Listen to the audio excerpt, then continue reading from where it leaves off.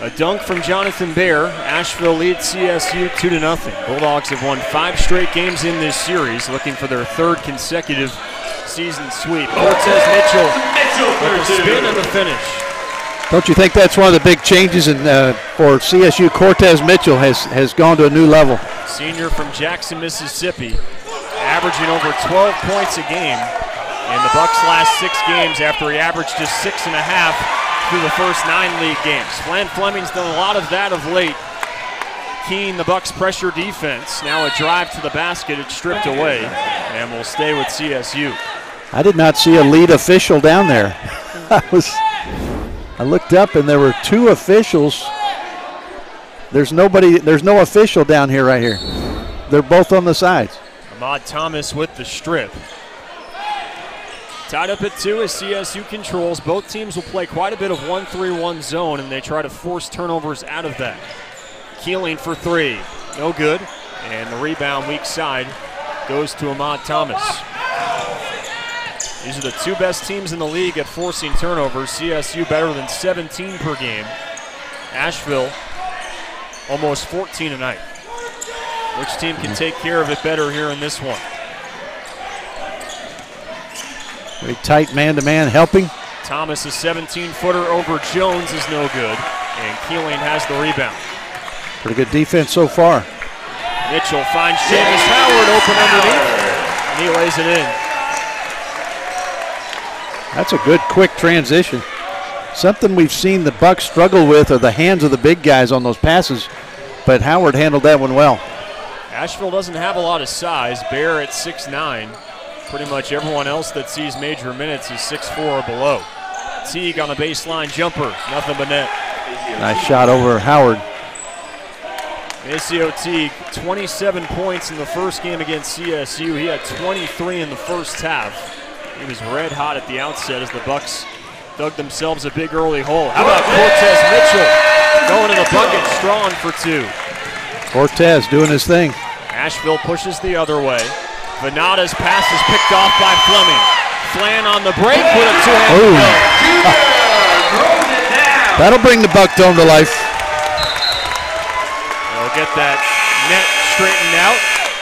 Flan Fleming, three steals in the win Thursday against Longwood. The steal there, and he comes right into your living room with a two-handed dunk. You mentioned something earlier, Kevin, too, about the UNC Asheville not substituting a lot, but you see Coach Radebaugh doing that, trying to keep his troops fresh. So later in the game, that uh, war of attrition may come the way of the Bucks.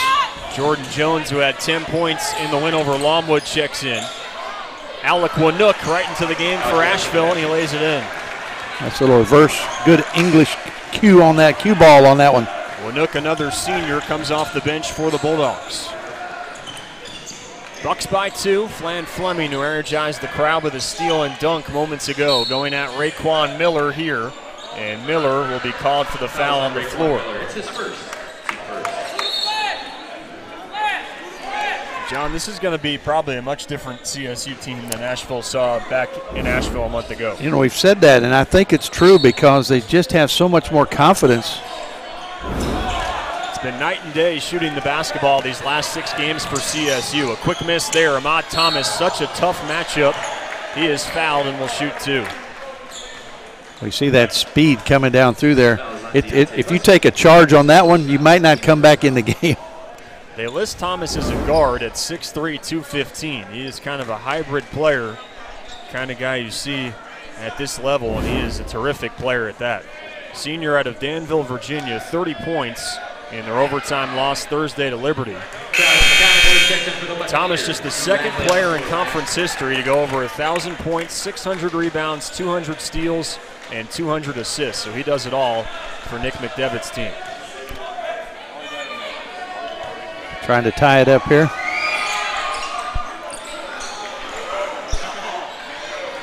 Deontay Buskey came in for the Bucks as well at that last stoppage. Freshman out of Daphne, Alabama. Backing up Cortez Mitchell at the point here late in the season. McConico has been hot with his shot of late. Now to Keeling and now to Fleming. Flan driving at Thomas, kicks McConico. Left wing three is way off an air ball right into the hands of Vannatta. Might have forced that one a little bit, and the result showed it. Conoco 17 for 36 from three. That's 47% over his last six. Some good help there as they double Thomas, but they call a foul. And over two shots again for Thomas. We return. Some highlights for both teams early on. Our first media timeout. We're tied up at eight. Keep it right here as the Bucks are about to take possession, led by redshirt sophomore quarterback Shane Busnell, who had the best game of his career production-wise last Saturday. Obviously, you got to take the opponent into consideration, but Shane was very good. 14 out of 17, 273 yards and three touchdowns. Bucks threw for 300 yards total, just the second time in the last six years they've gone over the 300-yard passing mark. It looks like Mississippi Valley came across before the snap of the ball.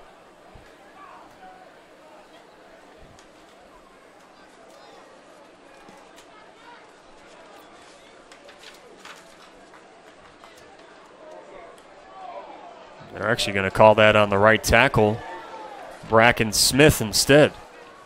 Sure looked like the defensive lineman came across and touched him. You know, I don't know if it was because we have a tight end to that side and he jumped, so he was not the next guy outside. You know what I'm saying? So maybe that's that's the only thing I could think of there.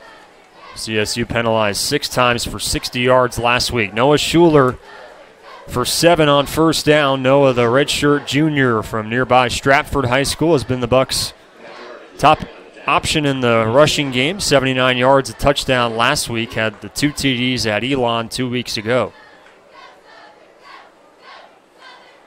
We did not see Shannon Hamilton last week, who's nursing a hamstring injury, and he is not in there on this series to start.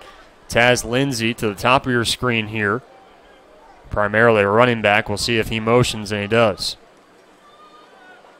Pull it from him on a jet sweep. Busnell will keep and goes up the hash for about five, but flags come in. And that's a great read by Shane. He's just reading that defensive end, comes upfield to tackle the jet guy, just pulls it and gets a, a few yards, but I think it's coming back here.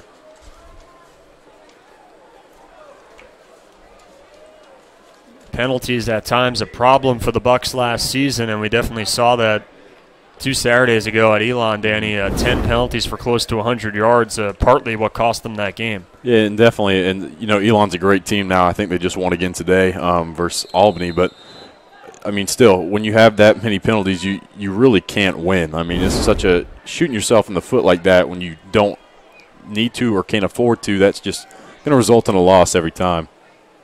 So that's it. CSU back in the second and lawn here. Back to the option game. It's the freshman Elijah Henry who's got some speed and a chance to show it off here.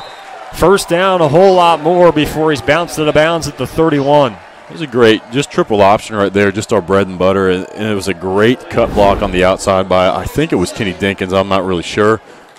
But he gets a nice cut on the corner. Boom, out front.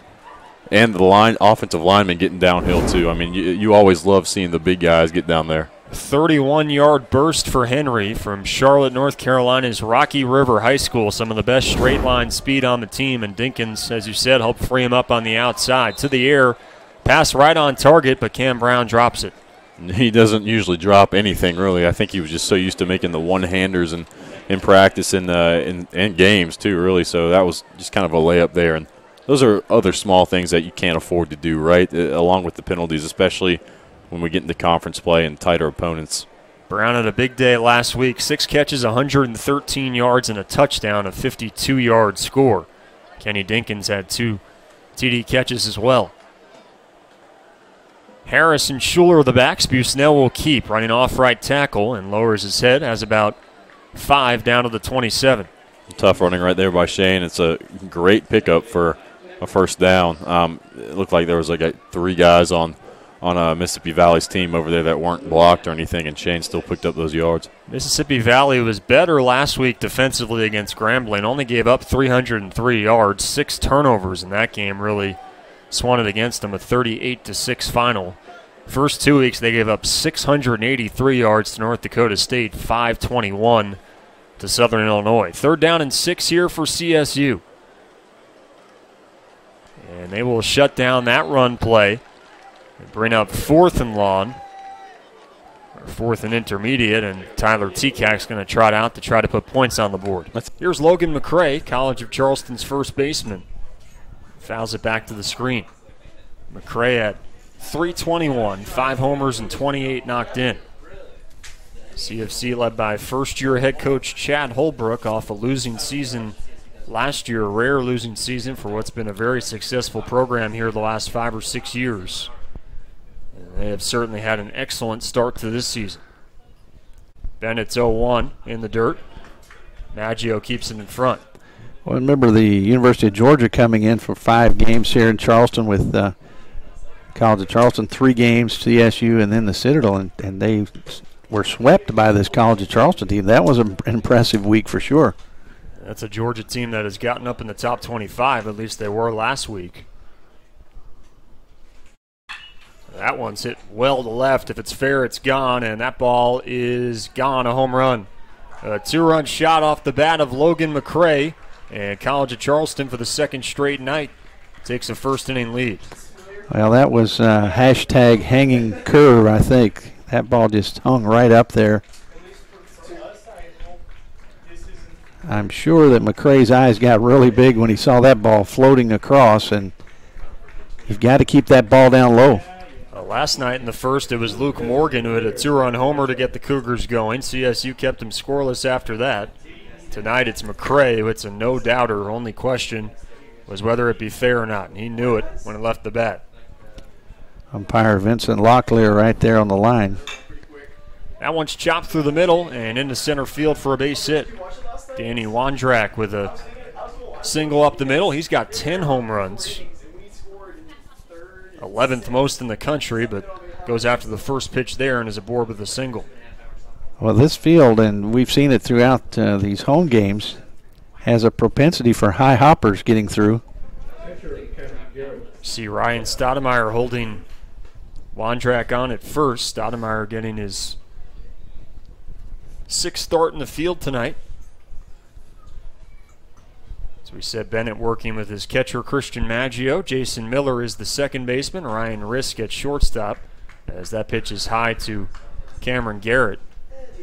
Third baseman Kyle Vesneski, and then left to right in the outfield, Kyle Horton, Josh Litchfield, and Alex Andronica. Uh, Bennett, once again, got to keep that ball down around the knees. A little better, but nibble at that strike zone.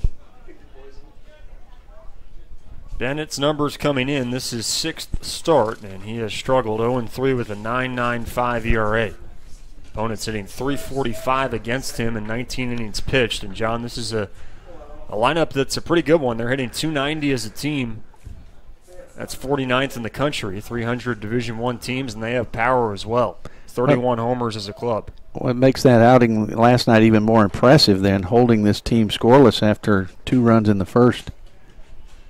Bennett able to come in with a strike, three and one to Garrett. Two nothing Cougars on a two-run shot down the left field line by Logan McCray. Man aboard at first, and that one's hit deep to left. Maybe got a bit under it. Horton back near the fence is going to make the catch on the track. He just missed that. Well, Bennett's heart jumped a few beats, I guess, as well as Coach Adam Ward on that. Tell you what, the game last week against Longwood, that's probably gone. The wind was really a factor that day. It was not so much tonight. Would have would probably easily have been gone. That that's right.